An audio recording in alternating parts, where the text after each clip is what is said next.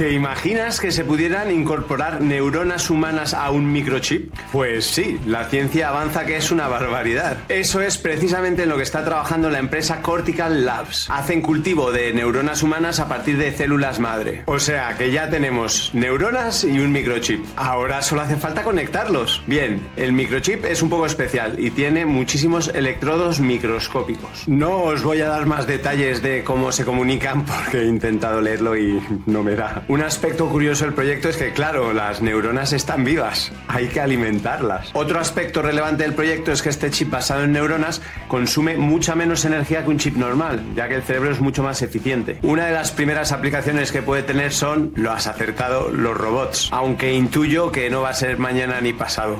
Interesante.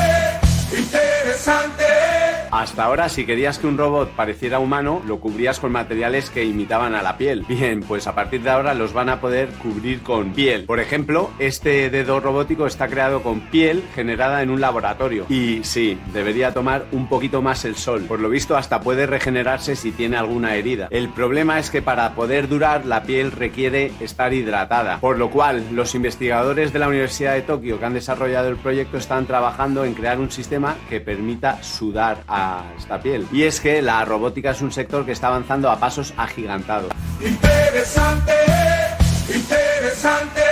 Ya están aquí los robots asesinos programados para matar.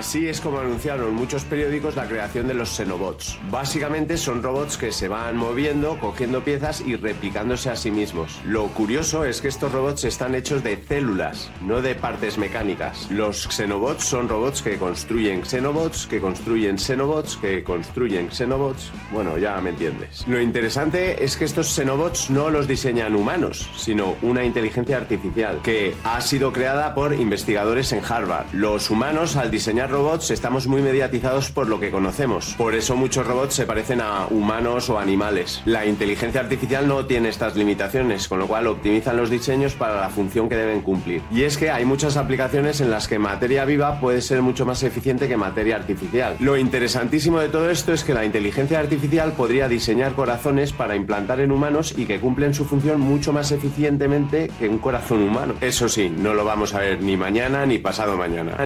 Interesante, interesante.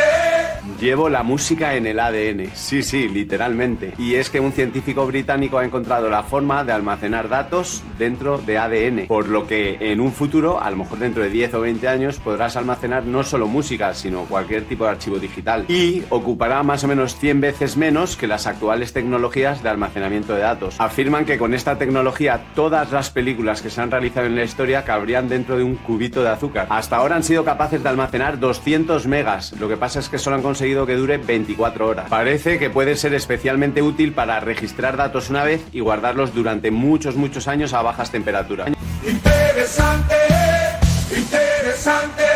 A ver si encuentras el error que tiene esta frase. Mírala bien, porque hay algo que está mal. Efectivamente, el investigador que descubrió CRISPR no es Francis Mújica, sino Mojica. Si estás editando un texto, simplemente seleccionas el texto y lo corriges. Pues bien, CRISPR es una tecnología que te permite hacer algo similar, solo que en vez de con un documento de texto, con ADN. ¿Y qué se puede conseguir si eres capaz de modificar una secuencia de ADN? Pues tiene un potencial enorme, desde aplicaciones en agricultura hasta su uso, hasta su uso aplicado a enfermedades raras de origen genético.